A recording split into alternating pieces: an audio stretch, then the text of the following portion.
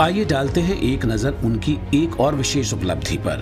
संदीप मारवा दुनिया में सबसे ज़्यादा लघु फ़िल्मों के निर्माता हैं। उन्होंने फ़िल्म विधा की हर संभव शैली में 3,300 फ़िल्मों का निर्माण किया है।